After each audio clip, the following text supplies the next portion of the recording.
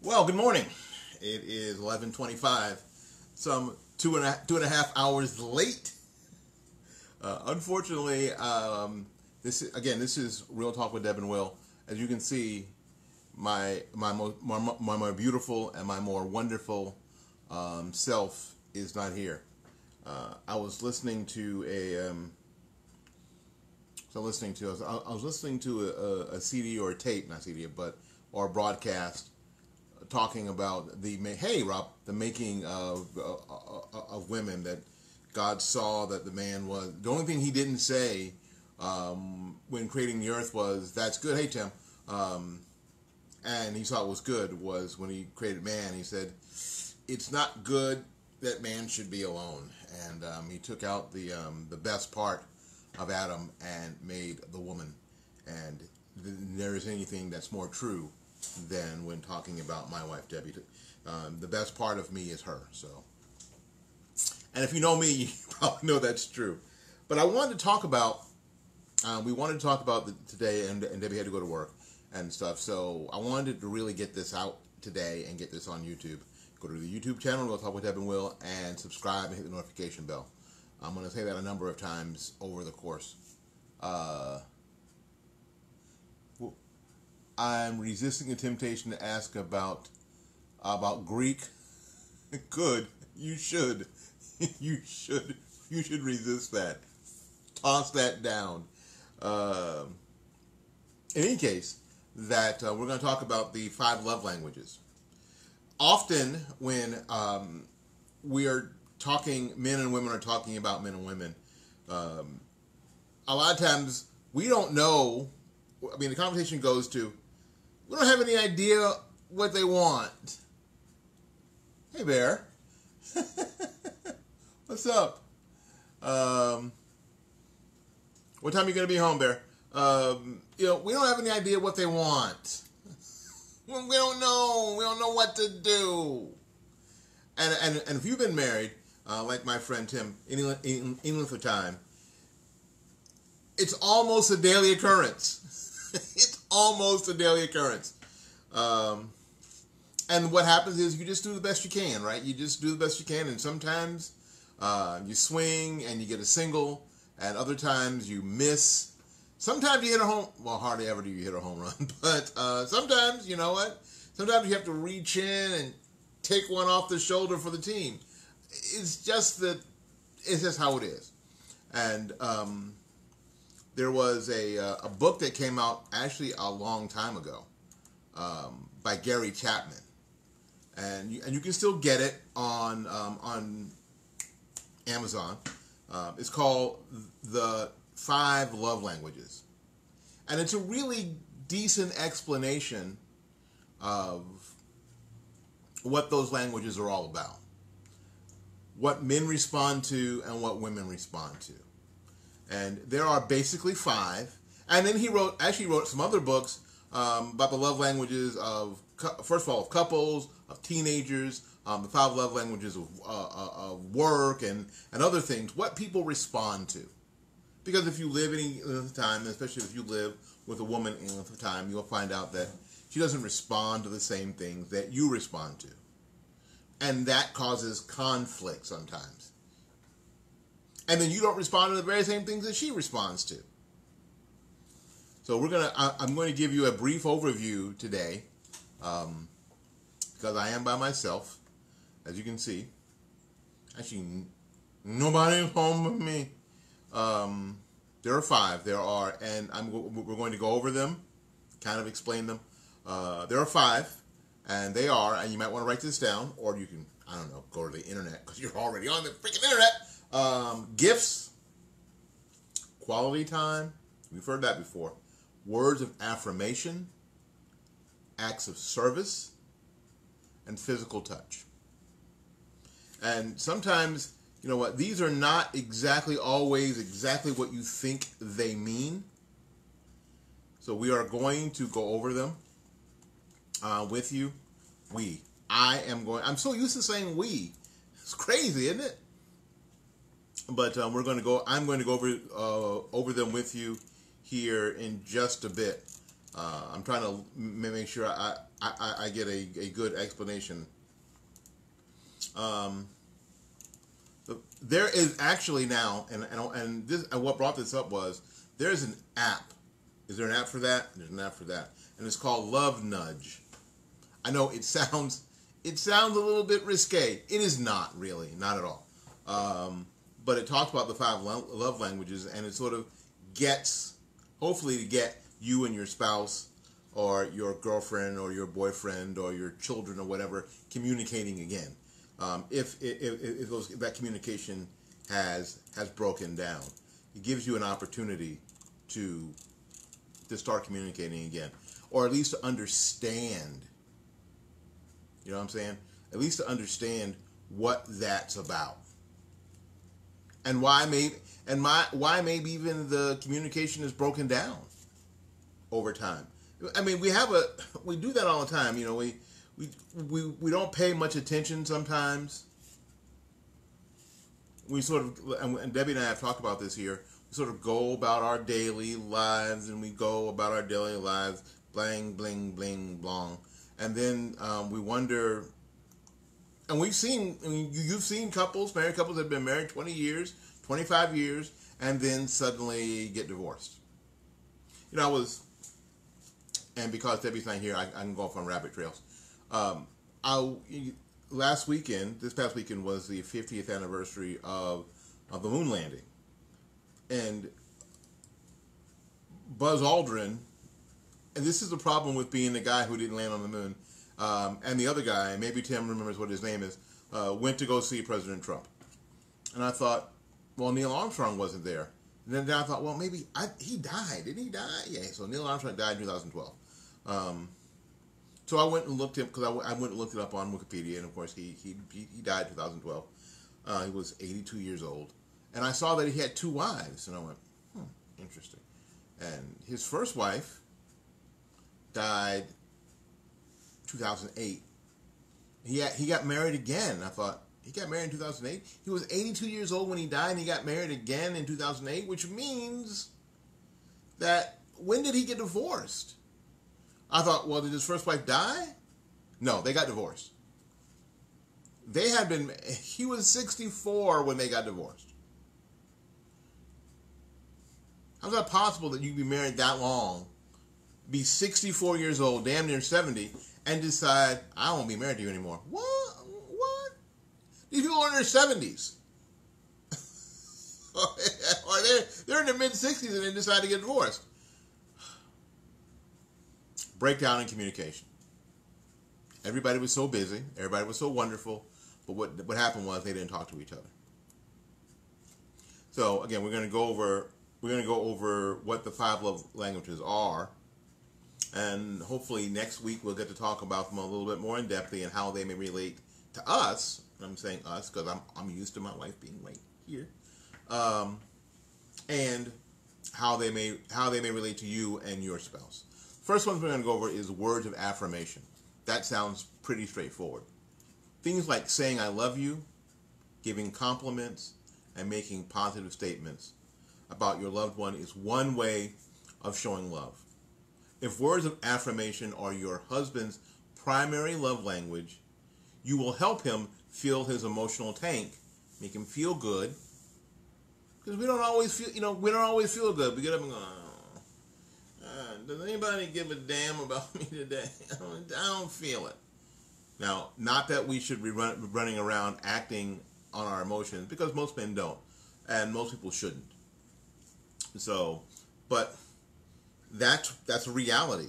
Whether your whether your emotional tank is high or low, you have to function at the highest level anyway.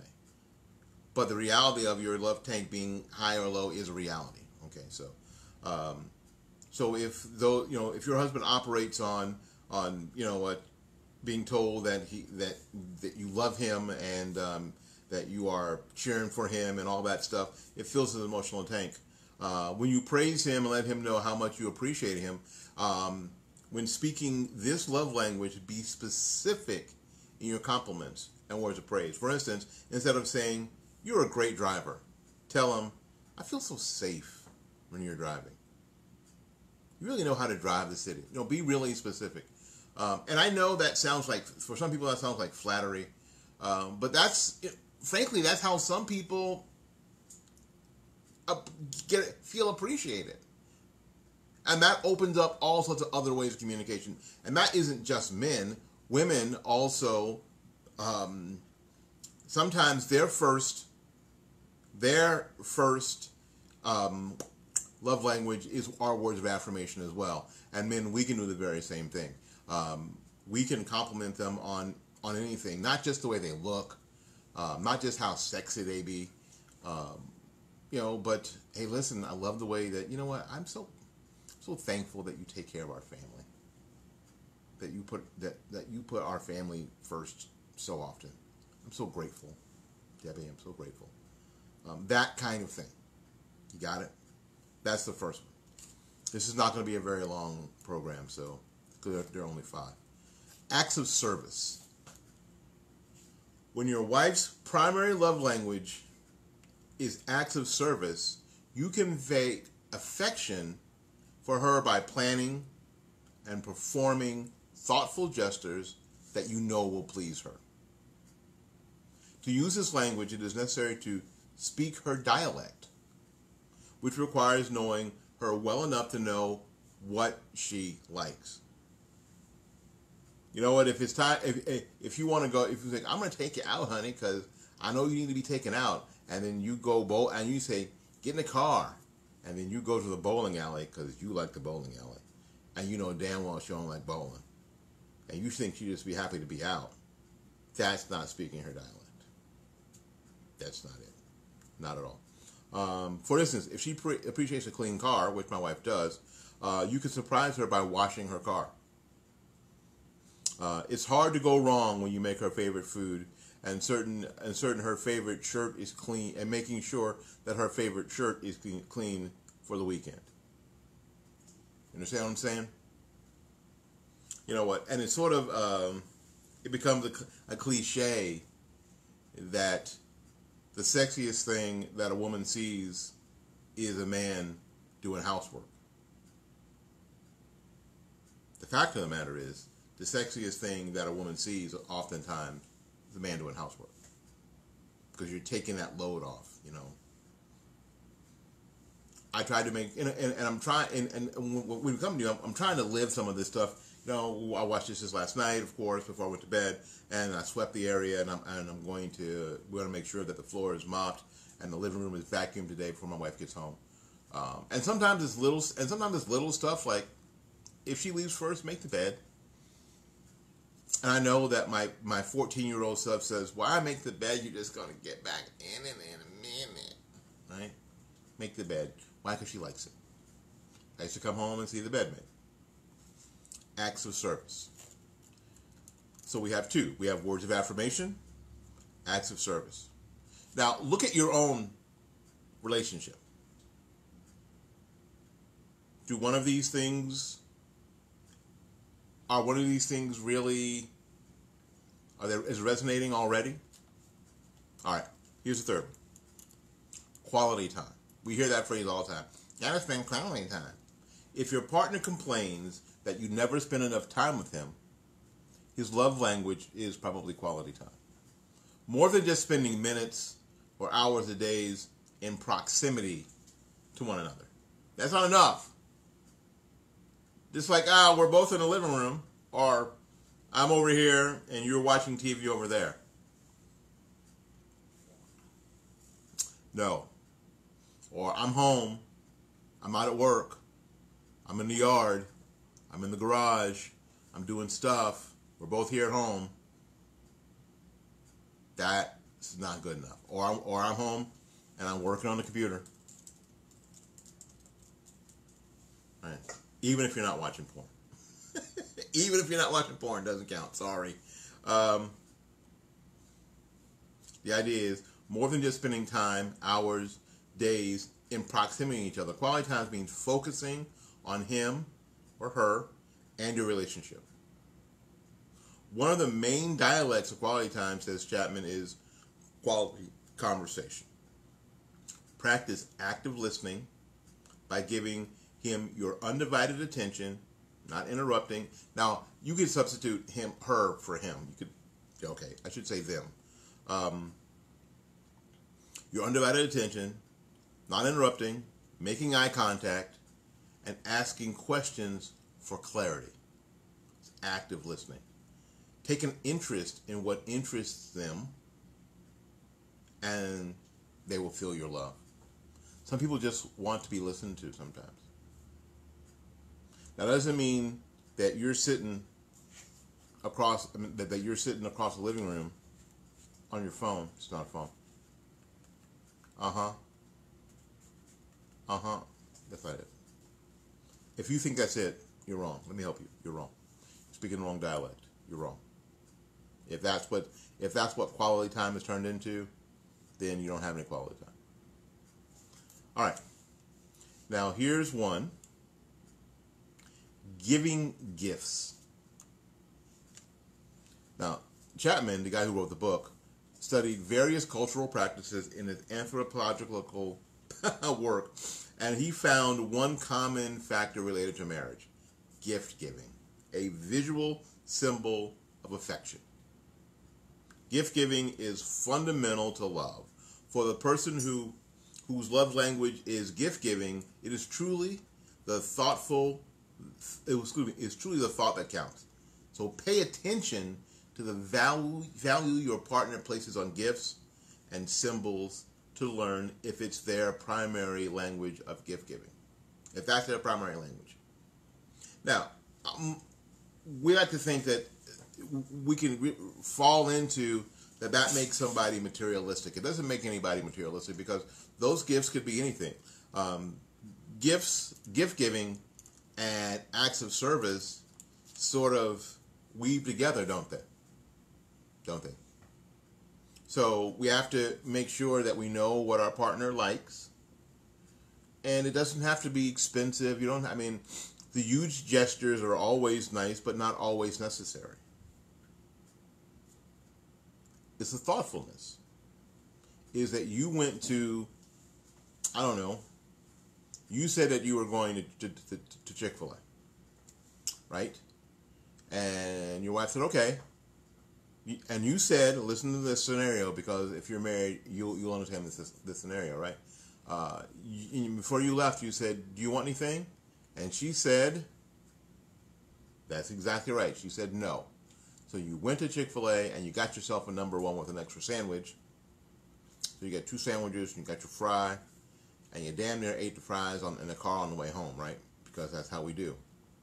Then you get home with the bag, and she says, What? Say it, boys. Did you bring me anything?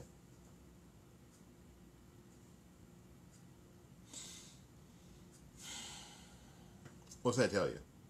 That one of her love languages is gifts. Is giving gifts. I'm gonna tell you something that I'm never going to do again. I'm never going to Chick fil A and getting an number one with two sandwiches and not bringing back an extra fry. No. If I can't afford the extra fry, then I can't go. That's what it is. Gift giving. And it's all it's and it's usually small. Doesn't have to be huge and have to be this monstrous gesture. But that's that's what we're talking about. All right. Number four. Told you this is going to be short. Or we're already on number four. Or five. What were number five? We said words of affirmation, acts of service, quality time, gift giving, and number five, physical touch. Physical touch is a powerful communicator. Chapman explains relationship um, with an individual whose primary love language is physical touch is in trouble without tender touches. Now, this is now don't get confused. This doesn't mean sex. A lot of times we think that this is this is sex. This doesn't mean sex. Physical touch includes kissing, embracing, holding hands, pat on the knee, or other dental touches. Because some people need, and we talked about this in a uh, a previous video some people need to just feel like they are physically connected to somebody. Your spouse may reach out and, and for your hand at the movies or when you're walking around the mall or just in the house. Their first love language may be physical touch because they just need that physical connection. And this, and, it, and again, it doesn't always have to lead to sexual intimacy, and most times it doesn't. Is that, it's that unexpected hug, or kiss on the cheek, or in the mouth. Y'all marry, y'all can kiss on the mouth. You understand? Be really careful about that. Now, not every, now understand, not everybody's first love language is a physical touch. But if your spouse's first love language is physical touch, you're going to have to find a way to communicate with them by that. You understand what I'm saying? So it doesn't matter what your first love language is. I mean, once you understand yours, that's fine.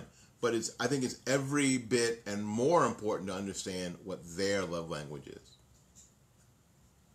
That's what's going to um, enrich the the quality of your relationship moving forward. That's what you got to work on. And guys, you got to guys, girls, y'all got to work on that. Now, next week, I think we should go. We'll go over this. Um, the app is called the Love Nudge.